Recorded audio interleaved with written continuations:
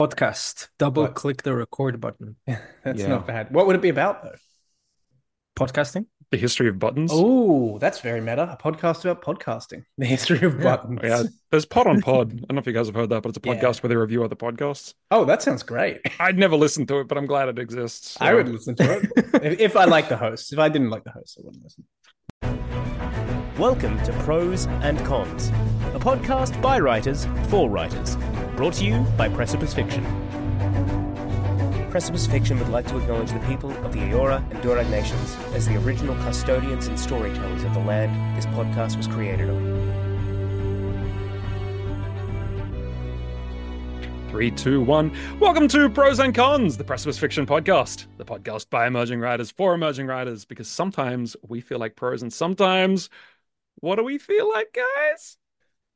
Cons. We feel Penguins. like cons. Th- Thank you. Thank you for humoring me. I said penguins. And sometimes Sometimes penguins. we feel like penguins. I'm Paddy Boylan, the hosting penguin. Joining me, my esteemed penguins, Alex Eldridge. Hello, uh, I'm head penguin at the Penguin Brigade. Right. Brigade. Uh, yeah, I do a lot of um, sliding down icebergs. Uh, there's a lot of like making sounds and flapping. No, I'm an author. Uh, I uh, I've I've written for a few publications, uh, and I've also contributed to the the new Mythic most recently. Beautiful. I do And- like penguins though. And my second co-penguin, Matan Elul. I've always been wanted to be called uh, a co-penguin by someone. You made Now's your lucky day, Matan. That's my lucky day. My flippers are just shivering with excitement. Oh, I can and see them. beyond my uh, current predicament of being a penguin, I'm also an English teacher and a writer. I've contributed to New Mythic, uh, like Alex. Uh, I like to write horror and fantasy, and I'm also doing a bachelor in English literature uh, at university. So yeah, lots of classics to read. Lots of classics and lots of penguin-based literature, I'm sure. And I'm Paddy Boylan, hosting for today. I'm a part-time penguin, part-time. What do I do? Part-time editor, uh, part-time creative writing teacher, and part-time technical writer. And am currently looking for more work. So if you need a technical writer who's also a penguin, you, you know where to look. Is that the, Uh, the penguins mate? Yeah, surely. Yeah, surely. sure. They must do. Probably. Years of teaching, watching Pingu has taught me this much. So today, guys, penguins, we're looking at character arcs. Does either of you want to give a brief definition of what you understand a character arc to be? Yeah, I'll do it. I'll do it. Okay. So the idea of an arc is uh, you start here and then you go up like that and you go over like that. I'm being entirely serious. Uh, basically, y- your character is starting at one point and they're kind of uh, traversing a space that might be a moral space, that might be a physical space, Mm. um, going from one uh, point to the other. So they're going to end up somewhere different. They're going to be a changed person by the time they get to the other side of the arc. Is functionally what it is. It's humans like to see other humans change and grow, whether that be uh, in a in a positive sense or a negative sense, and that's all an arc is essentially. A hell of a definition. That, Thank that's you. very good. I think we can end the podcast there. Can, can I give you All a less professional definition? Yes. A much less. Pro- uh, you know, Red Riding Hood. Yes. She's never walking in a forest alone ever again. Oh, Oh That's yeah. character arc. Oh yeah. Okay, That- that's fair. that's real good. Yeah, yeah. it's pretty it's good. it's when the reality of a character hits the reality of the world they're in and changes happen and character arcs are so i don't know what you guys maybe you're always got them on your mind but for me they're so easy to forget to add they can often be an afterthought but they do so much heavy lifting because a character that doesn't change over the course of a story if the story is of enough length feels often kind of flat we don't feel like the story's moving. We don't feel like there's a change from here to there. And it feels like the place we end up in is often kind of the same place we start Mm. and not in a fun, the story is a circle, this is the monomyth kind of way. So today, we're going to look at character arcs, different types of them, when we need them, why we need them, and when we might when we might not need them. Because maybe we don't always need character arcs. But spoilers, most of the time we do. So before we jump into this, uh, guys, what have you been what have you been reading or watching or playing in the literary I'm world? I'm so tempted to say Happy Feet just for the penguin thing. I have watched Happy Feet. I've actually never seen it. Ago. It's directed by the same guy Oh. who did Fury Road. I know. I I What? That, that Yeah, Shut up, yeah. That's really? insane. It's crazy. How? Yeah, What, yeah, what yeah. kind yeah. of Filioma- Fil- because Miller anyway. is a, a- And amazing- and Babe Um, and Babe Pig in the City as well, actually. I think he did Same. both. Wow, babes. talk about Yeah, you did, know yeah. like two sides to a coin. Yeah. Um anyway, I've been reading uh The Importance of Being Earnest by Oh, nice. Oscar Oh, no Wilde. A classic. Yeah, it's great. Yeah, I read it for school. I'm not some, you know, fancy schmancy guy. I just I have to read it and I am enjoying it. Uh it did make me Google cucumber sandwiches this morning because Mm. they make a big fuss of them and I thought, what's so great about a cucumber sandwich? And Mm. it's literally just bread, cucumber, and a thin layer of cream cheese. No, Anyway, it's back to also the backbone of the British Empire. Yeah, Right, absolutely. I'm sorry, I'm sorry. Wait, but hang on, hang on. What sort of cream cheese? Are we talking cottage? Are we talking Philadelphia? Like, Whoa, whoa, whoa, whoa! Cottage is not cream cheese. Listeners, do not listen to this blasphemy. Ooh, Cottage okay. has nothing to do with cream cheese. It's a creamy cheese. Uh, back- controversy. Back to the story. The, the point of the story, I'm going to spoil it because it's from like 120 years ago. I'm allowed, right? Uh, so this guy, basically, you have two characters, and both of them have double identities. They have uh, Ah. two different names Mm. to basically push their agenda. One of them is literally called Jack in the countryside and Ernest in the city, if I remember correctly. I'm still not done with the book. And he's basically pretending that his other identity, I believe, is his uh, friend or sibling. And it, it's very funny. It's it's very absurd in a way, and it's kind of making fun of the seriousness of, of Victorian England in a way that I think is really clever and, and hilarious. Uh, and he proposes to this lady who says, Wow, of course I'll marry you. You have the perfect name. And that's actually not his name.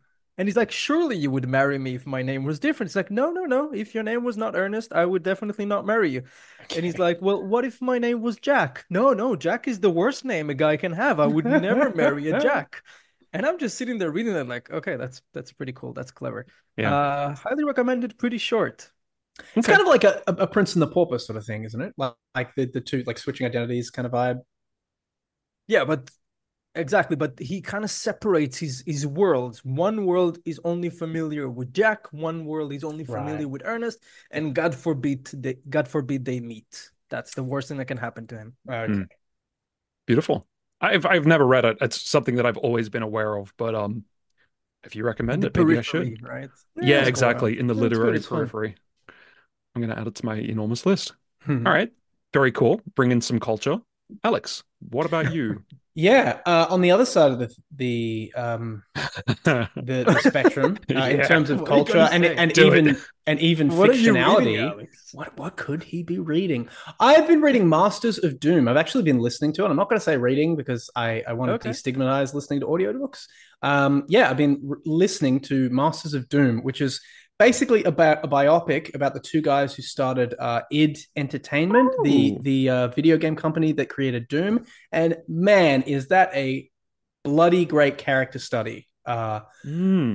in in terms of like these two these two developers, the two Johns, John Carmack and John Romero, and it's just Romero. yeah, yeah, it's just how they kind of rose to fame from being these geeky like developer guys to basically like owning the shareware market and then like just selling millions of copies, having of course a big fallout. Then the second half's about how one guy goes and sells the company, and it's a complete night like they break up and they start a company. It's just a, it's a great book, really Would- really good book. Would you say that there are solid character arcs throughout? Oh yeah, absolutely. Yes, I would. Yeah. I, I really would. But I, I, it is non-fictional, so it's it's easy to put that down to uh, the skill of the writer. The writer is really good. He's a really good writer. I've, um, but no, like yeah, great characters. Really, really good. Like fire and ice sort of dynamic. Like it's just about these two guys and the, the dynamic of their relationship.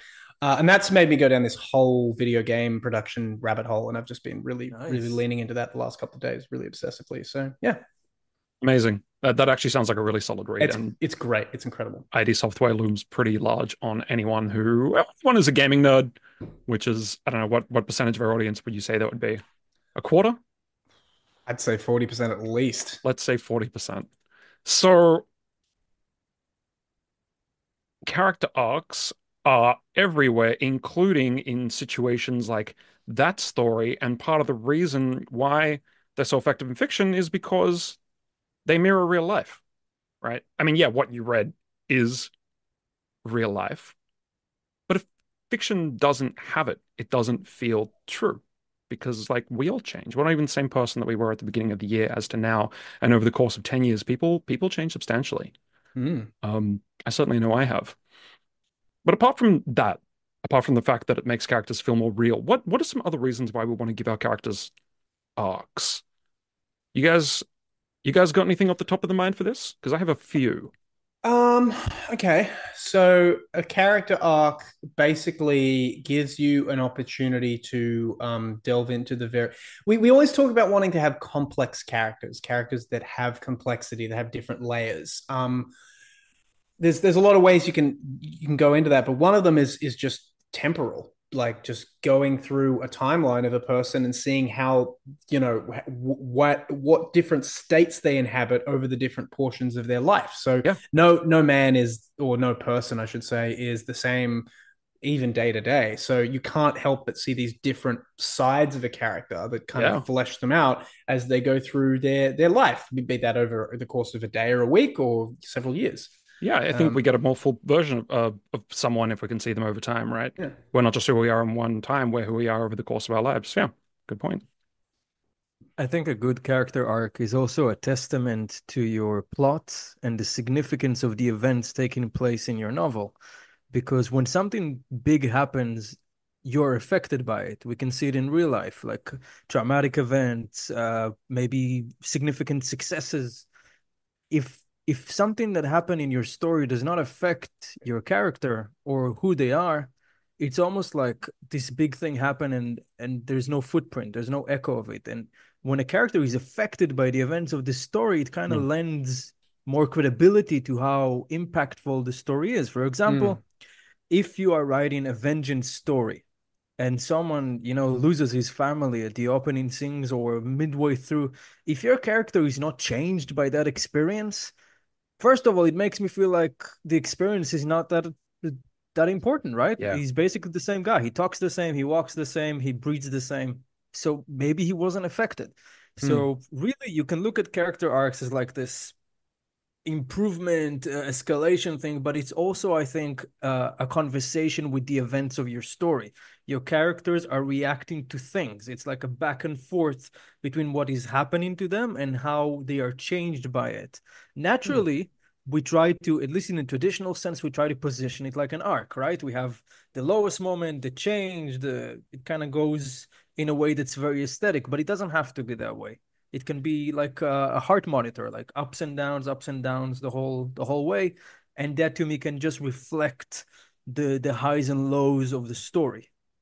Yeah, I, I think that's those are perfect answers. That that Yeah. covered pretty much all the points I have. The only the only other one I have is that I think it makes characters more relatable.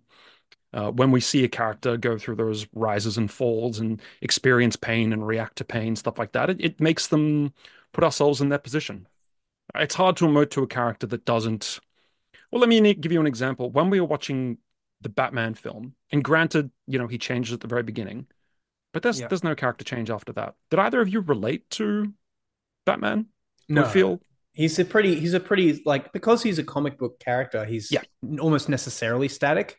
Yeah. Um, Mm. so Christian Bale's a great actor, uh, but uh, he's, I think Batman's a, uh, he's only functional in, in relation to his foils with other, with vi- villains, essentially. That's what's interesting about him. Um, yeah. So I'd say not so much. I think you could write a Batman that does have an arc, um, but you are right that in general it's a character that very naturally leans towards highlighting the foils, like Alex says, because he's so static, because he's he is Batman, he's a paragon, he's he maxed out basically. This is who he needs to be. Yep. So basically, it's the people uh, that come against him that naturally become more interesting because you know Batman is not going to change much. He's not going to change his costume. He's not going to change his methods. He's not going to suddenly kill, and he's not going to suddenly go to the police to report a crime. So you're more interested to see how do people challenge this immovable object, Mm. and you know that in the end he's probably going to stay the same. Yeah, I, I like that. There's almost no room for change because yeah, he has maxed out his stats. Like he is the final form of what of what he is. yeah, he's the Uh, he's the apotheosis of of this of the superhero in a lot of ways. I mean, you could argue for Yeah. Sup- Superman as well, but he is he is the the end form, like the the final version of what a superhero can kind of be, at least on that on that wavelength. That's the thing. If you want to do a Batman arc, it usually has to be like I don't know how closely you guys watch comics, but there's this arc when Bane defeats him and breaks his back. Happens in the movies, happen in the comics. Uh, so basically, the arc for someone like Batman is to stop being Batman, and then his return to being Batman. Yeah. Yeah, he, yeah. he loses his ability to be Batman because his back is physically broken. He's mentally broken. So that's his arc to to stop being himself. And the only to way they can get an arc in, yeah, is to stop him, is to make him not Batman. I, I like that. It's We've- binary. We've incidentally kind of jumped ahead to some later points I have about when might you want one character arc, but let's uh this this is good. Let's let's put a pin on this and let's uh return after we thank thank you for putting the pin in. After we have looked at the different types of character arc. Because we're human beings, we love to put things in categories, and unsurprisingly, people have categorized different kinds of arcs. And here they are. Now, listen, as you're listening to this, you might think that there are other kinds or sub kinds. That's fine. There's so many ways to divide this. But this is one simple framework that I like that I think describes all the different times of arc pretty broadly. Here we go. Okay. First of all, we have the moral ascending character arc. The moral ascending. Pretty obvious, right? Does one of you guys, I'm, I'm- look, I'm sure you can guess what that is based on the name. One of you guys want to want to pitch a description of that? Uh, Tangled. I haven't seen Tangled. Tangled, the What- what 2016 happens? movie, Disney movie. Okay, so there's Rapunzel. She's got the her business, you know Rapunzel. Yeah. And this guy named Flynn Rider kind of tries to come into her house and steal her shit, and starts off as this robber, Flynn falls in love with her. Such- Suddenly, you know, s- starts to have morals, principles. It's amazing what a beautiful pair of eyes would do to a guy. Uh, so yeah, by the end of it, he refuses to steal. He turns on his robber friends and becomes an upstanding citizen. Beautiful. That's that's a perfect example of a moral ascending character arc. The one I had in mind was Han Solo. Starts as a rogue and a scoundrel. Yeah. Honestly, Cha- he it's kinda like stays chaotic like that. neutral. He is, but toward the end of the first Star Wars film, spoilers, he actually returns and saves the day, even though he was saying, like, no, I'm not going to risk my skin for anyone but me. But he does in the end because of the power of friendship. Uh, look, so often moral ascending character arcs come down to the power of friendship, which is fine. Which is Yeah, fine. Friendship is great. It's But- fair. Yeah, it's it's when a character improves morally, or Yeah. they overcome some moral adjacent failing in themselves. When someone Hmm. is no longer a coward and they stand up to a bully, is it a moral thing? Eh, kinda, but it rhymes with the morally adjacent, uh, the morally ascending character arc. So we're going to put it in the same bucket. So a character improves morally uh, on themselves. Great, nice and quick. Anything else to add on that one? I think I think that's probably the simplest of the bunch. Yeah, it's it's the, it's the standard he- hero's arc. It's the journey that most characters take. They start here. I mean, oh, the you know, I'm, a, anti-hero. I'm a street rat. I'm an urchin, uh, and then Yeah. I'm, the, I'm the Sultan of Agrabah or the Prince of Agrabah by the end of it. If you know, you take the Disney example there. Well, But it- yeah, yeah, yeah.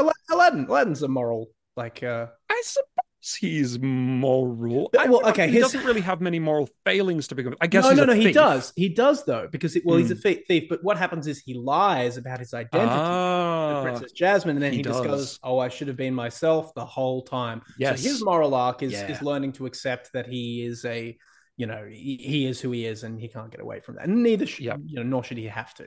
and the I irony he is that if he just oh, go ahead, Benton. You know, he does give those kids the bread. I mean, Yeah, yeah, yeah. Well, that, that's the thing. He's not like. I mean, it's it's a singular objectionable, failing. It- character. yeah. It, it's Sure, it's like sure. coming to really when you look at it, it is coming to terms with him as himself, like accepting who he is and and presenting it is himself an as that to the world. I Yeah, agree. it's It it's an is going ascendance in, up. in one ver- you know one vertical, one parameter goes. Oh, I was here and now I'm here. You know. Yeah, Yeah. exactly. Moral ascending, we love it. Staple of fiction. Moral ascending as an opposite. Unsurprisingly, this is the second type of moral arc. This is the moral descending character arc. Now, we might just assume that this is just as simple and basic as the moral ascending. It ain't. It ain't. I'm going to argue that it's a lot more complex to write Mm. and a lot more Mm. tricky. Okay, so Alex, you're agreeing away. Why? What? Why do you think it, it's more complex to? It's to do it's well? more complex because you have to justify a reason for someone to almost objectively get worse. Yeah. and that's that's a really hard thing to justify in Yeah. fiction. So the uh, the the example that I have um, that I I've said before, and I'll say it again. My favorite descending moral arc is Harold Lauder from The Stand. Um, Okay. That is the most fun example of a character like starting here and getting better. He's like he's he, he's like he starts as a little brat and then he sort of like works out and becomes more helpful. And then he kind of goes on this path of like oh like moral degradation. And then uh, eventually he's he comes to this crossroads and he has the option to choose between two things and he ultimately chooses the negative side and he he uh is basically killed for that failing. Um but it's a really interesting path to get there. Um yeah but it, but it goes back to what i said before you have to be able to justify the fact that this person is objectively getting worse they, they're choosing to do something Yep. that is not for the common good or or whatever I think the real skill in a descending arc is to have your reader cheer for that, to have them cheer for the descending, to to have them happy that that it's happening. And I think the perfect example for that is The Godfather.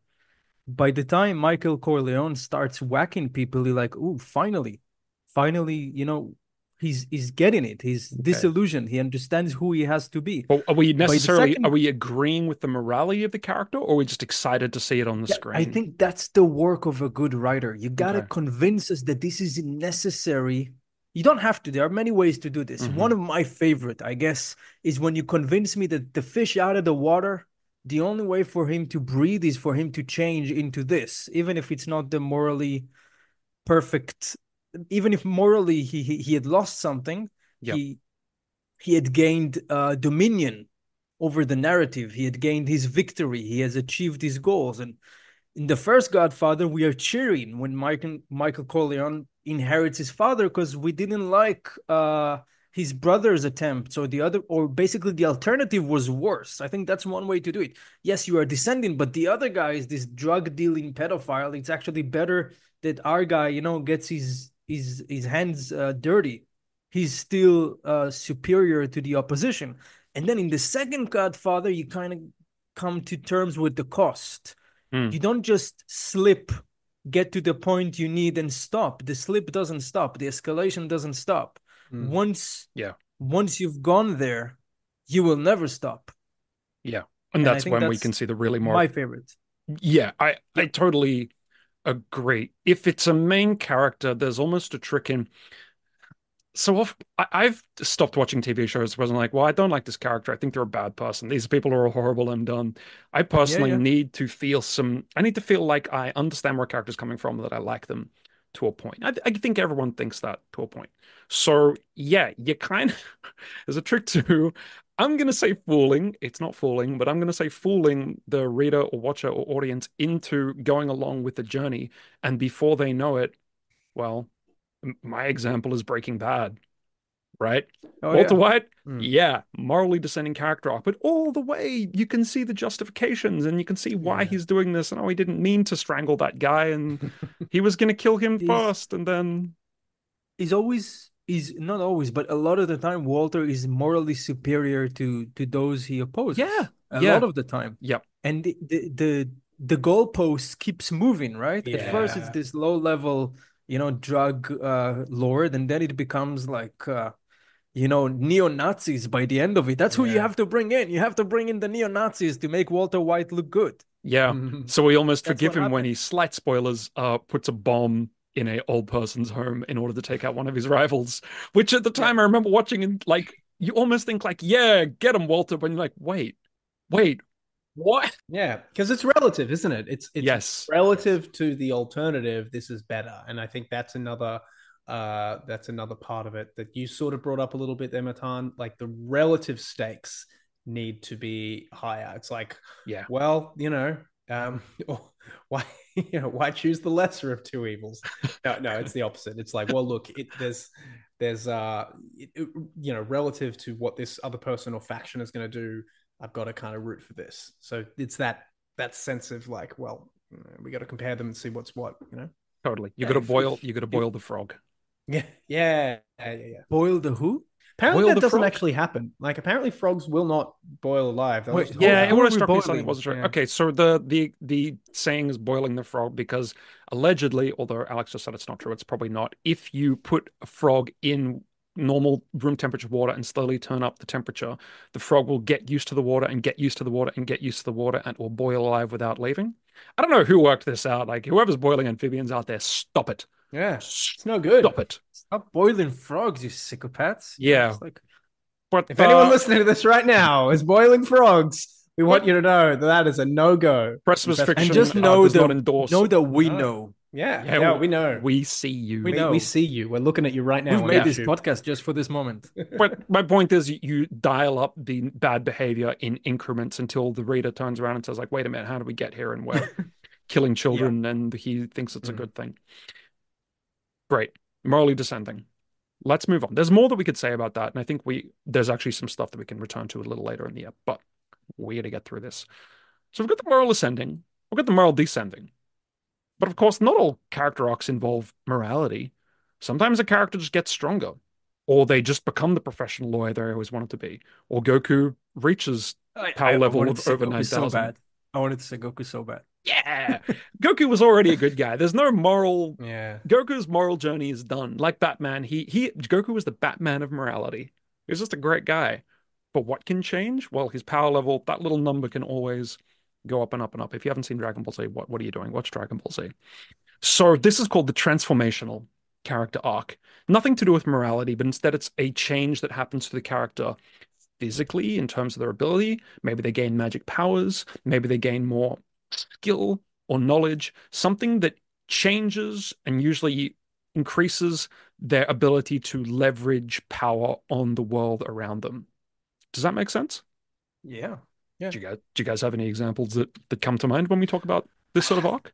Any anime hero, really. Yeah. Like just just like it seems the the way you've put it there, it seems simpler than the other two. Like as soon as you take ethics so. and morality out of it, it seems simpler. I'm trying to think of a way that that uh that it, but it, it, seems more all inclusive, like transformative, like it could transform into anything. But um I guess that's not really the way stories are constructed. It- Um, it's a, it's a broad brush, but I still think it's a useful it's a useful category to have because it is different to the ascending and moral and oh the yeah, ascending. it is. Yeah, yeah. I- I think it can easily- Goku doesn't get any more moral. Yeah. No, no, or less. You can Yeah. so easily pair it with those other two, but I think it is Yeah. something in and of itself. Um, the example I saw online was look, I it's been a while since I've seen the Hunger Games, but someone mentioned Katniss from the Hunger Games. Oh, that's that is a really interesting one. Does she Um, change morally? morally? No. Um, let me let me think about how that works. So morally, she doesn't change; she stays the same. Um, she kind of becomes more aware, but what happens is by the end, the very end, she does uh become more clued in to the to the machinations of the political factions, and she she actually uh, uses her her own influence to to affect that in a very physical way like in a, a single action Yep. she sort of shoots like the, the main person. Um and then at the very end it's kind of like oh also we give her you know she's found peace. There's that. So there's that element of as well like finding self fulfillment i suppose Peace through deadly force. yeah Yeah.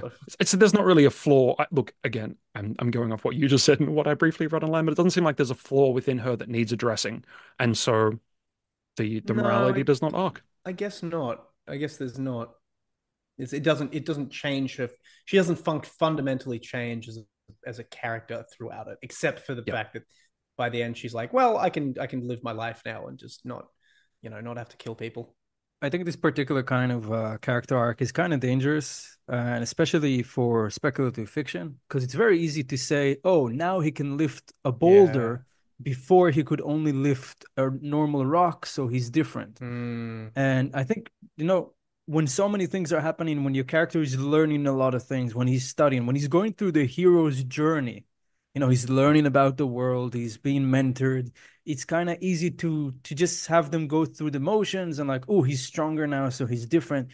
I think if if you care about that kind of thing and you're writing a story that's heavy on the speculative side, a lot of firepower and spells and Mm.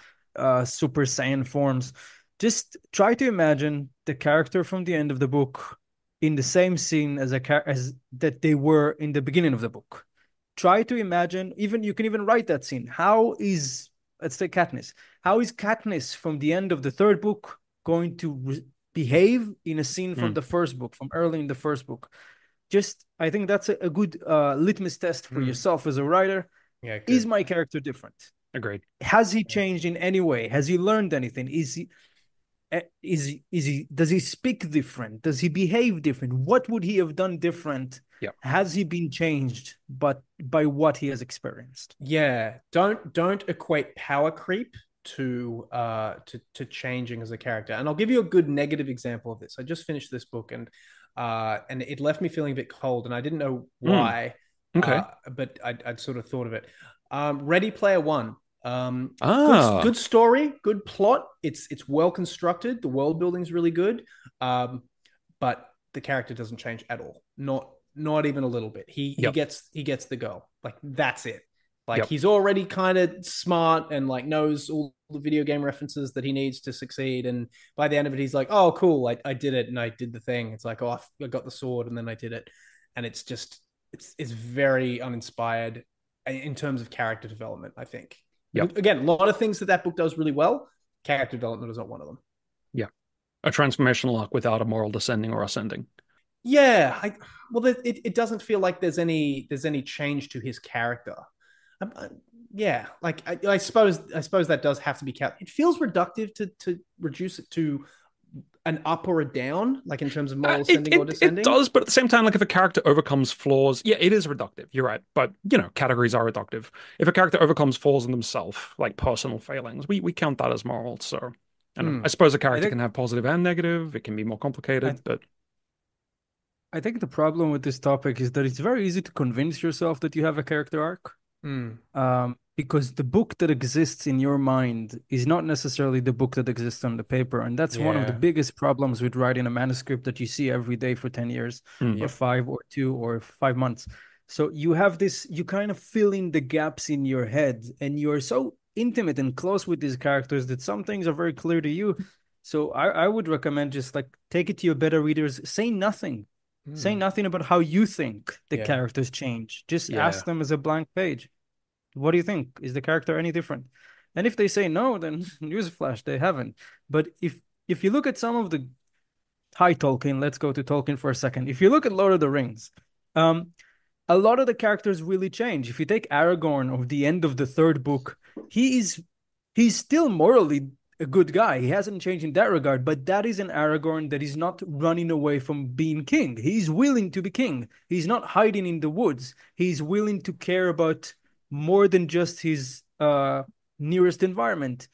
If you look at, at Sam, Sam has changed. He's willing to, you know, to lead, to do things by himself, not just to follow others. Gandalf has changed, right? Gandalf used to try to you know, handle everything by himself, run from place to place. By the end of it, Gandalf realized he needs to take a back seat and let humans deal with their own problems some of the time. He goes from cannot Gandalf just- sorry, he, sorry, he goes from Gandalf the Grey to Gandalf the White to Gandalf Uh, the Chill.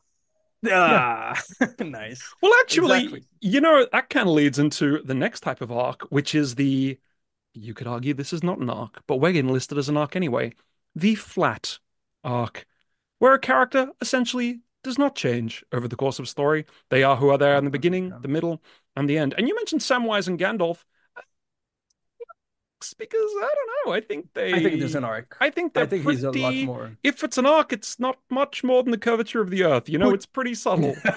pretty gentle. that, I know, that but is damning put- by faint praise if ever I've heard of it. I'm, I'm just But- saying, put Gandalf the White in that first conversation with Saruman. Okay, Here's the litmus test. okay, fair enough. Good thing or bad thing, though, is a question because do, does a character need a character arc? This is something I wanted to ask you guys. Flat arcs are a thing. We already talked about Batman. I say Gandalf doesn't have much of an arc. I don't think Samwise has an arc. I think he's just always Samwise, and I think that's actually kind of the point of Samwise. Do we always need character arcs? He's a rock. He's, He's a a rock, Mr. rock. Frodo. exactly. I he's a will make it- potato.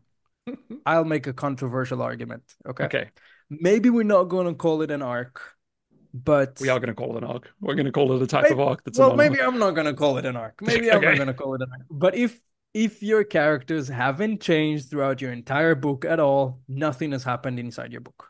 You know what? Nothing. You know what? I'm gonna say, even if Samwise uh, doesn't change for the rest of the book, that one moment, uh, and I haven't read them for a long time, so so I, I'll I can't. I haven't read the books at I'll all. carry you. Uh, so that one Well done. moment where he's like, "This is the furthest I've been ever in my whole life." That is character growth. It is. It it 100% Yeah. is because he's like, "I've done something I've never done before." Like that right Yeah, there you- is is character growth. Even if he His doesn't change the speedometer rest of the ticked over. Paddy, Paddy, he solos uh, an entire orc tower. What are you talking about? Okay, well maybe that's a transformational arc. You're right. Fair enough. Fair enough. So I'm going to I'm going to give you a few examples of situations that one might not need a character arc. You can disagree. You may disagree. However, let's just have this as proof of thought. Fun. One, if a story is very short, I think in a lot of short stories, they're often when we have character growth, it's best to make it slow because it needs to feel real. The character is slowly building incrementally on themselves. If a hmm. character a story is very short, sometimes there's not time for it. Like, what do you do in a five-page short story? Like, there might hmm. be you might see different sides to a character in the resolution, but we can have character growth. Maybe not. I mean, I, I would say I would say probably there would still be because character growth isn't necessarily this linear plot to plot thing. It's not point to point. Like character growth happens. You could ask like it's it's kind of a Tony Robbins cliche, but like growth mm-hmm. doesn't happen like over this long period of time. Growth happens if, over a very short period of time. It happens from going from point A to point B. When you make the ch- decision to change from one thing to one thing, that is growth. And most short stories, I would argue, uh, have a character that makes a decision or does something that they they wouldn't usually have done or moves to a place that they wouldn't like. There's usually there, there's a point where they decide to do something, um, and I would argue that that is growth. Yeah, I mean that that's fair. I, I think you could consider that as growth. I think there's situations though where I would look at the situations you're talking in personally, not call it growth, because it's just we're seeing the character in a different circumstance. But yeah, food for thought. Fair food enough. for thought. Okay, Fair enough. next one where we might not need uh, a character arc potentially. Again, feel free to disagree. For minor characters, and again, I'm going to say see Samwise Gamgee. Yeah, we can Did you just call Samwise Gamgee a minor character? He is a yes, he's a main character. He's let's talk about the non MVP, the not well, let's talk about the non-main characters, or even not Samwise Gamgee, What are even lesser characters than Samwise. If we have a character that comes in in several I'll scenes give you in Pippin. a story, I'll give you Pippin. A razor maybe, Pippin. maybe. But let's have it, let's say we have a character that appears three times in the course of a book. Tom Bombadil. Do they need growth? yeah, well, maybe. Yeah, actually, yes, that's a good example. Um, easy answer, no, No. guys. Easy Uh, answer, no. If you write in a book, spread your resources. Y- Yeah, okay? you you can't. Okay, so like the more characters you have that grow, go go through a big growth, a big sense of growth, the bigger your book's going to be. See, and yes, this is the reference. It's the second reference today, actually. Um, uh, It by Stephen King. That's a big ass book because there's like like six main characters. Is it six? I think it's something like that. It's really big. It's really big, and the, if, if you break that down, it's because each of those characters has to go through their own arc. So you are just giving yourself more work the more people have have arcs, essentially. Yep, the book can't go on forever. I think I think Paddy's point is really good. Uh, don't get obsessed with character arcs Hmm. to the point that like Not every character has has to have like secret motivation stuff. Like almost in a western, you know, you have these facades, these fake houses. Be, be be economical. You can't have every character learn something, but main characters probably should. Hmm. Good point. Okay, another example. We've already touched on this, actually. This is us returning to it. Look at us, look at us find the pin notes. When someone is already when a character's kind of an archetype, or they already represent the thing that they are, when they're a Goku or a Batman, or I'm gonna say Gandalf. Look, I haven't read the books. I'm gonna say okay, Gandalf. okay, can- Right? When a character is already that that static, fully formed object.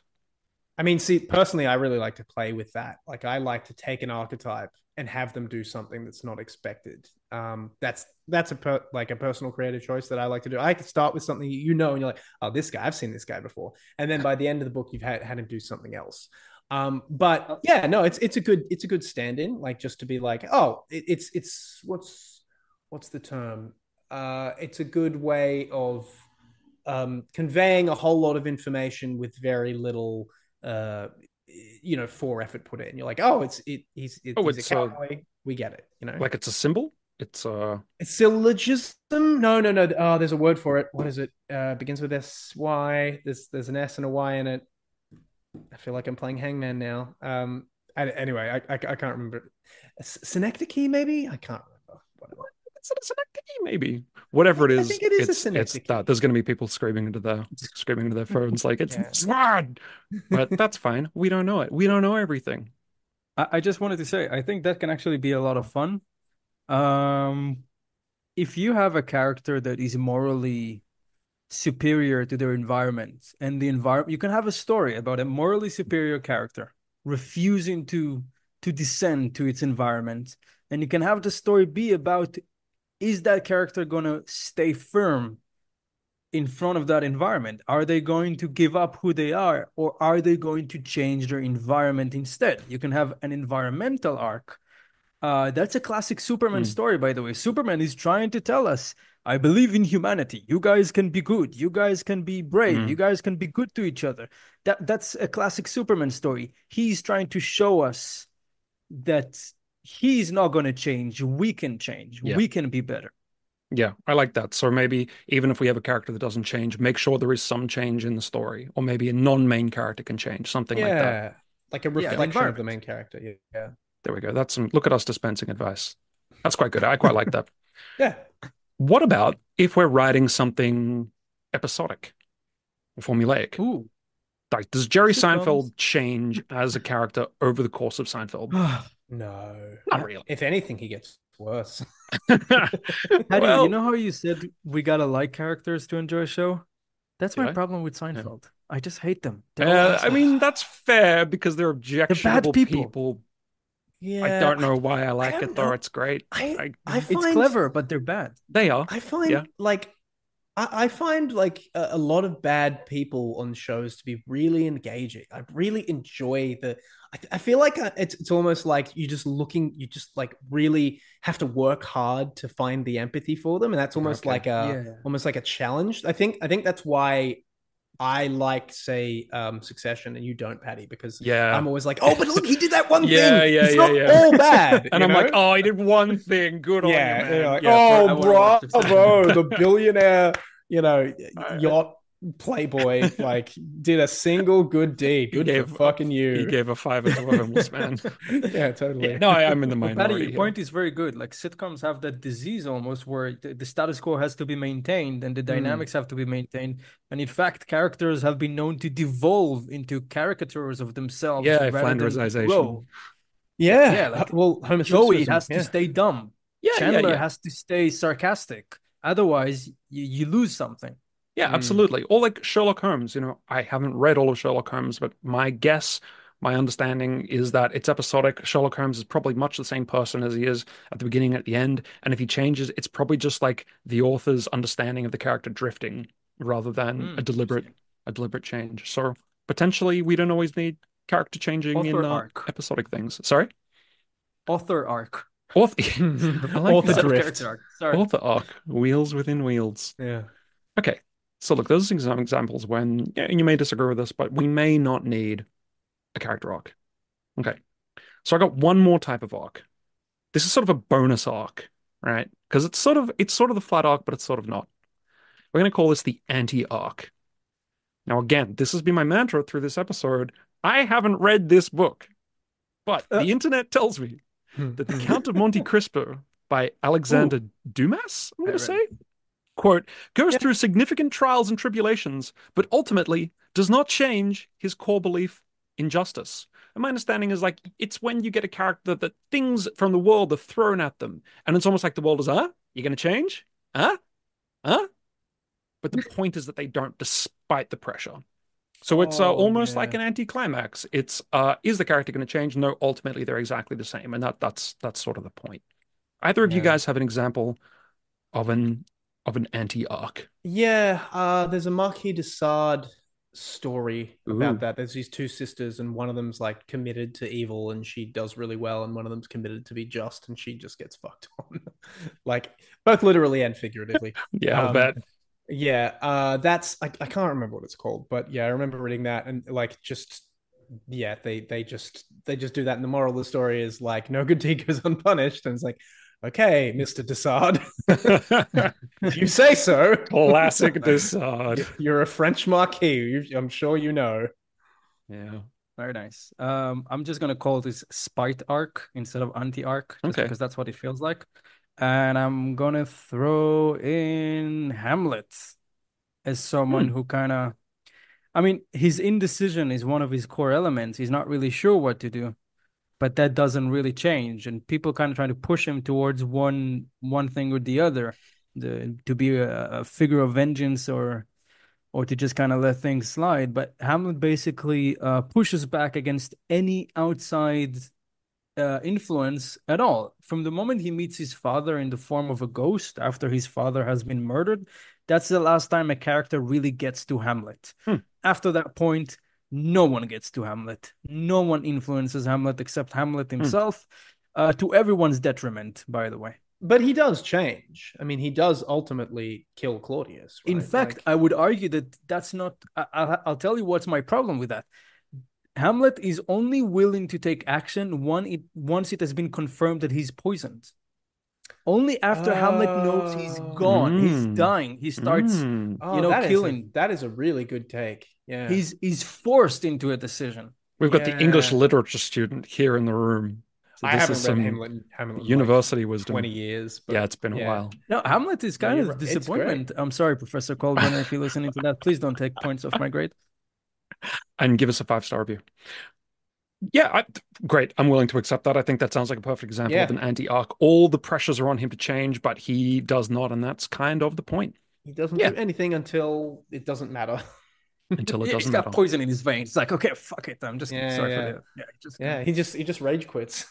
It's like, all There right. we go. So the anti arc. We're we're running.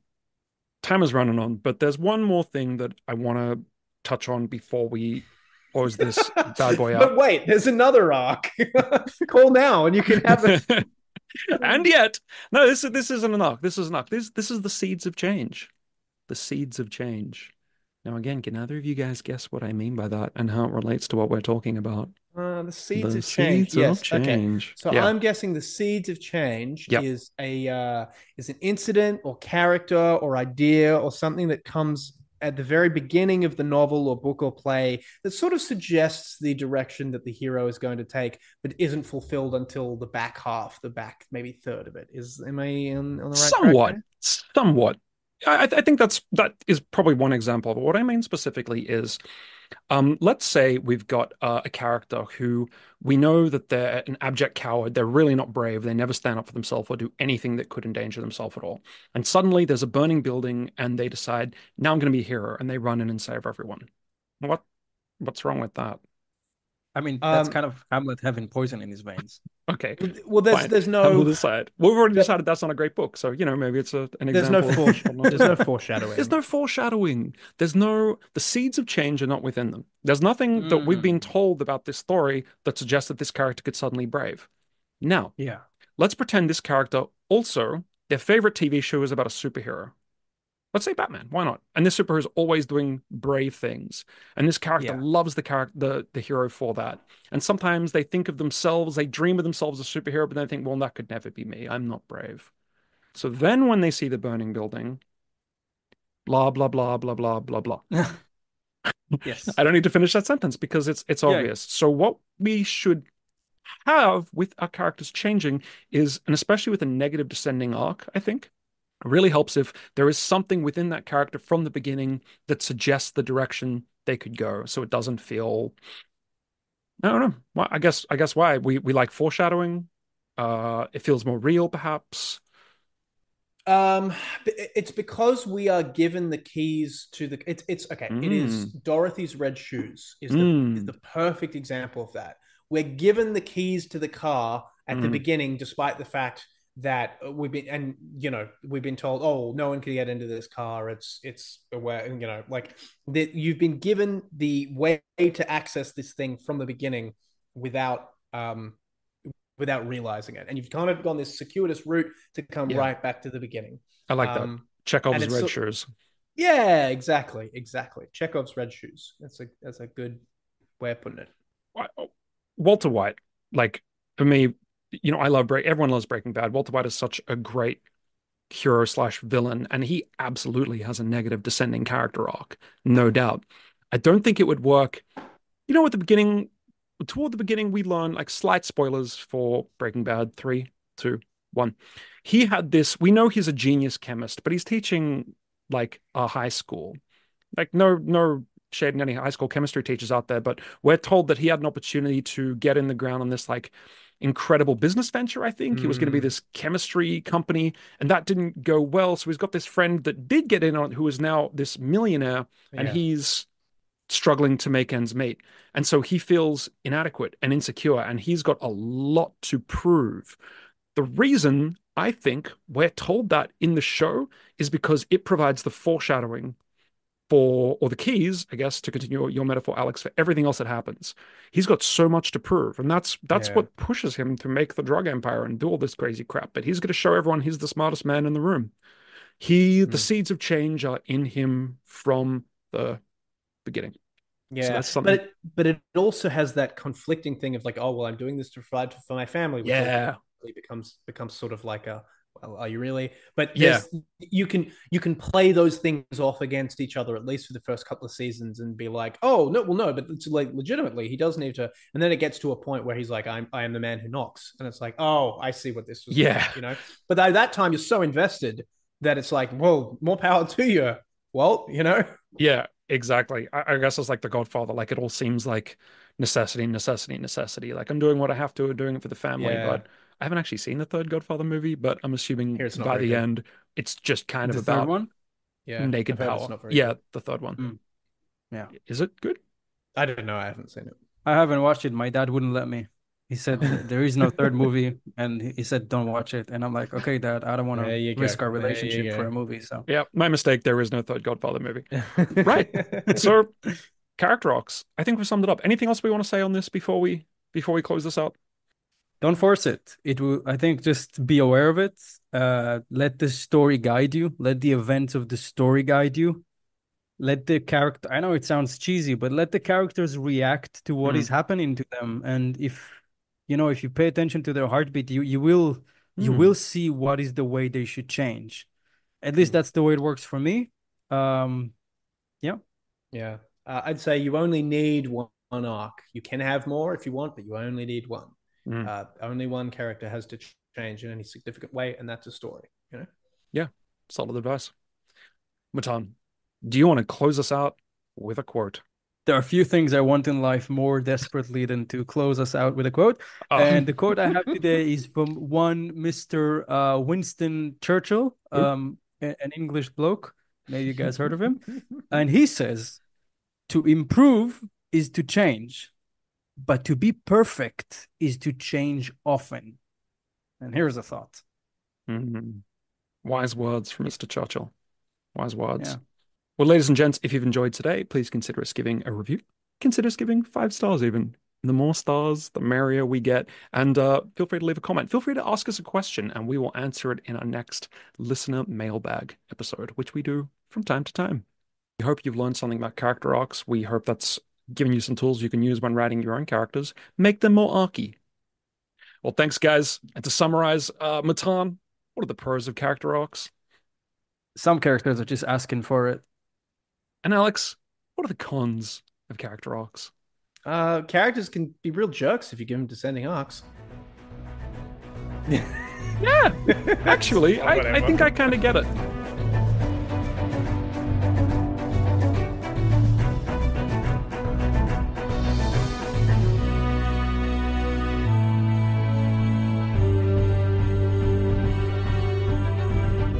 You're listening to Prose and Cons the Precipice Fiction Podcast.